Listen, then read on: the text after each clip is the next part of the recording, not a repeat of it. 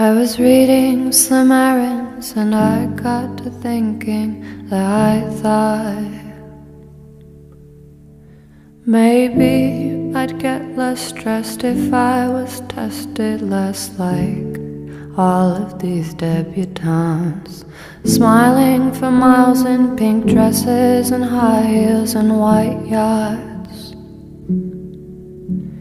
But I'm not,